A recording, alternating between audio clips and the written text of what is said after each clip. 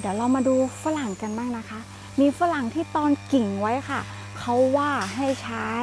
พลาสติก หรืออะไรที่แบบว่าเป็นฟอยล์สีเงินเงินๆห่อไว้แล้วจะทำให้รากงอกดี เดี๋ยวมาดูกันค่ะ ว่าจริงไหม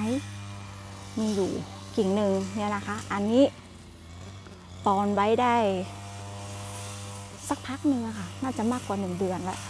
เปิดดูเลยว่ารากจะเยอะจริงไหม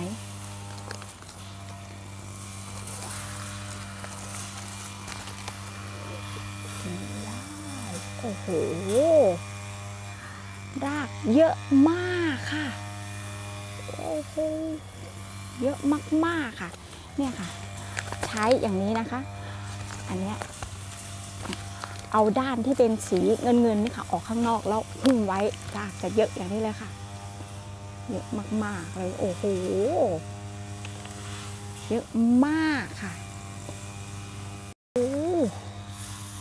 ตั้งแต่ตอนมายังไม่เคยเห็นกิ่งไหนรากเยอะขนาดนี้เลยค่ะ เนี่ยค่ะ คืออันนี้นี่เป็นเวลาเราซื้อผงซักฟอกที่เป็นถุงหรืออะไรก็ตามเนี่ย เคยสังเกตไหมคะ ข้างในมันจะมีอย่างเนี้ยค่ะ แล้วก็กลับด้านมันนะคะ แล้วเอามาห่อรากเยอะมากค่ะ